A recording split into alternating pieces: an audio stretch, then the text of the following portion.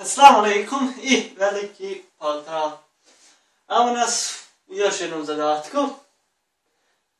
Gdje trebamo izračunati 1 plus kosinus pi trećina plus i sinus pi trećina pa sve na 6. Formula c na n na neki stepen je jednako rho na n kosinus n puta fi plus i sinus n puta u našem slučaju, neko može pomisliti, mi već imamo ovaj oblik. E, ima, već imamo kompleksni oblik i odmah možemo primijeniti ovu na formu. Kompleksni oblik jeste, ro, e, trigonometrijski oblik jeste ro što množi kosinus fi plus i sinus fi. Pazite, mi imamo kosinus fi plus i sinus fi. No međutim, ovdje imamo 1 plus kosinus pi trećina plus i sinus fi nije, nije ovo row puta to. Što znači, naš ovdje na ovaj kompleksni broj je izmiješan, znači ima i algebarskog i trigonometrijskog oblika. E, nama je potreban čisto trigonometrijski oblik. Pa, šta ćemo raditi?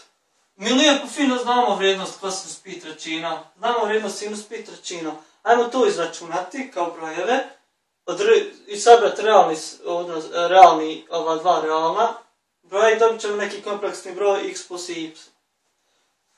Naš slučaj, znači realni, eto znači ću sa r, e, znači realni dio kompleksnog broja jeste ovaj ovdje dio, znači što nema i uzlaz. 1 plus kosinus pi trećina. Sada, kosinus pi trećina, pogledate u tablicu, Kosinus od pi trećina je jedna polovina. Odnosno ovo je jednako 1 plus jedna polovina. Nađemo zajednički, zajednički je 2. 2 podijeljeno s 1 su 2 i puta ovdje 1 su 2. Plus 2 podijeljeno s 2 su 1 i puta 1 su 1. Odnosno ovdje je jednako 3 polovine. Naš realni dio je jednako 3 polovine, a imaginarni dio sinus pi trećina Sinus pi trećina, pogledamo u tablicu, to je jednako korijen iz tri polovina.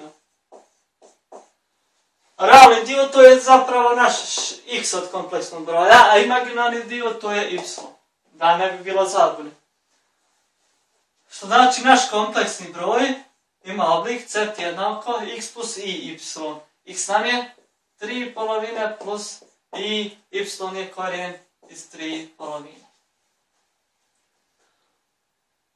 Sada potrebno je c na 6 izračunati. Znači ovo je naš kompleksni oblik, smo napisali kao ovako.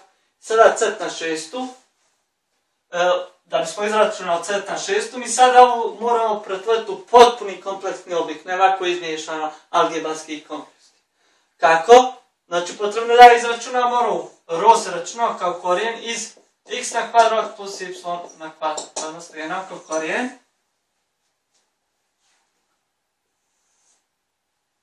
x je 3 polovine.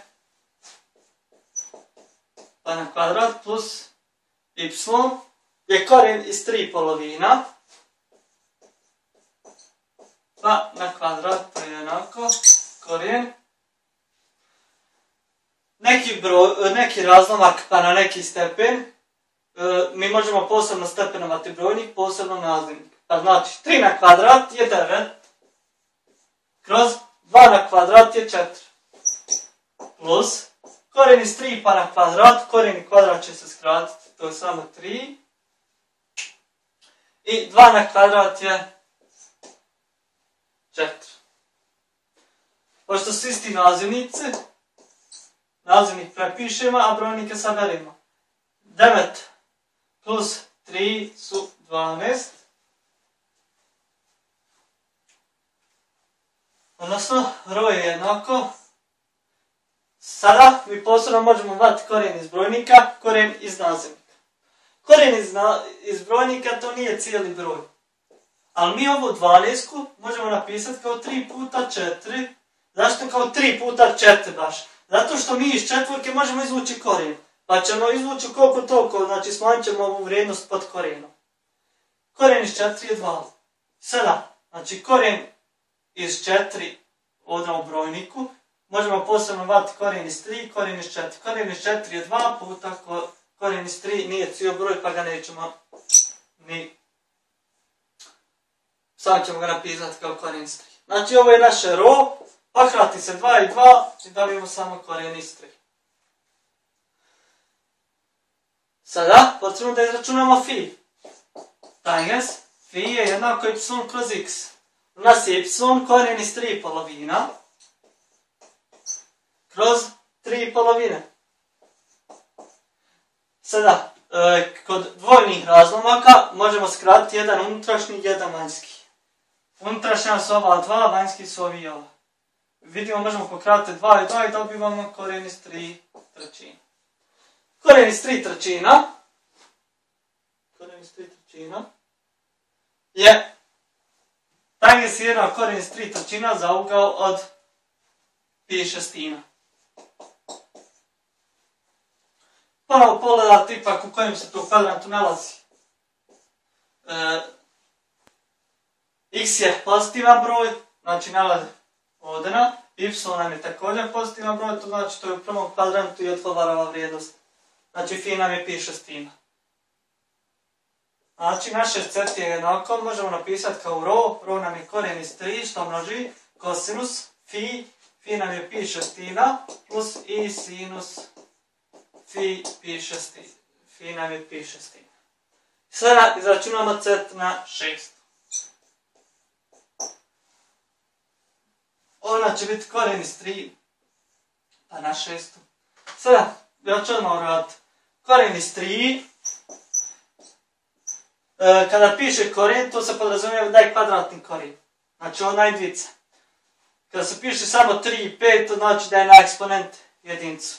Sada kako možemo ovo napisati u obliku eksponenta? Znači možemo tako što ćemo bazu prepisati. Ovaj odna eksponent ide u brojnik, a ovaj odna eksponent ide u nazivnik. Da je ovdje bio treći korijen iz e, 3, znači to, to bilo je 3 na 1 trećinu. Znači ovo možemo napisati kao 3 na 1 polovinu. Korijen iz 3 kao 3 na 1 polovinu. Znači ovo nam je ro na n. n u našem slučaju je 6, znači 6 kosinus n puta pi, znači 6 puta pi šestina, plus i sinus 6 puta pi šestina. 6 6 pokratimo, 6 6 pokratimo. E sad, ovdje, kada imamo neki broj na neki eksponent i sve to na eksponent, ovi eksponenti se množi. Znači 3 na 1 polovina puta 6, 2 i 6 se pokrate i ostane ovdje na 3 na treću. 3 na treću, to je 3 puta 3 puta 3. 3 puta 3 su 9 i puta 3 su 27.